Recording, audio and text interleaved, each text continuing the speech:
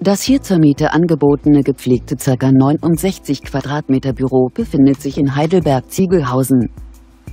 Verfügbar ist das Objekt ab sofort. Das Haus wurde 1923 erbaut. Beheizt wird das Objekt über eine Gasetagenheizung.